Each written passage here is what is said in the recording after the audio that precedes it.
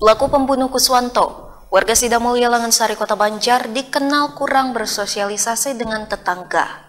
Selain tidak memiliki pekerjaan tetap, pelaku tidak dipercaya kerabat dan tetangga mengelola harta kekayaan peninggalan sang istri, sehingga warisan diturunkan ke anak angkat pelaku. Dua pelaku pembunuhan berencana terhadap Kuswandi merupakan kakak beradik yang tidak bertemu lebih kurang 20 tahun. Tempat tinggal B dan J terpisah di mana B di kota Banjar dan J di Bandung. Dendam pelaku B terhadap korban diutarakan kepada J melalui sambungan telepon hingga muncul niat untuk membunuh Kuswanto.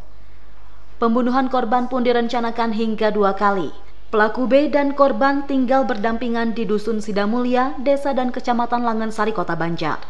Ketua RT setempat Dadang mengatakan kedatangan pelaku J ke rumah adik kandungnya berinisial B tidak diketahui warga sekitar. Pelaku B diamankan terlebih dahulu ketika dimintai keterangan pasca kejadian atau Sabtu siang di Mapolsek Langansari. Sedangkan pelaku J diamankan pada Sabtu malam di rumah adik kandungnya B. Ini pelaku ini uh, lama di Bandung, Mbak? Dari dulu orang Bandung. Tinggal di Bandung ya? Iya, orang di Bandung bahkan tadi juga kakaknya ke sini katanya udah 30 20 tahun nggak ketemu sama Jun Jun itu yang orang di Bandung itu. Tadi Jun datang ke Banjar itu nggak ada yang nggak ada yang tahu. Nggak ada yang tahu ya? Berarti kapan datangnya nggak tahu ya? Jun itu ditangkapnya di rumah pak iya di rumah. Salah seorang tetangga korban dan pelaku Ahmad Sobarin mengatakan pelaku B dikenal kurang bersosialisasi dengan warga sekitar. Bahkan gelagat kurang baik pelaku B terlihat usai istrinya meninggal dunia sehingga harta warisan jatuh ke tangan anak angkat pelaku.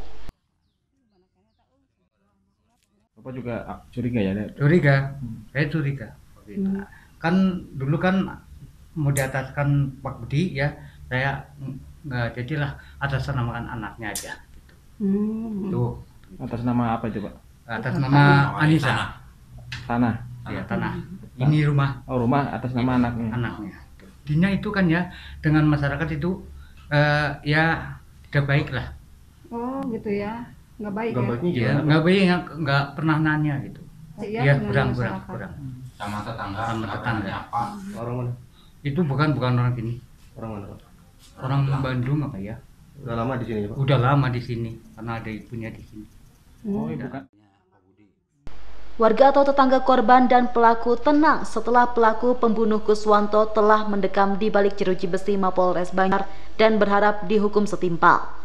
Dari Kota Banjar, Sukirman Radar TV melaporkan.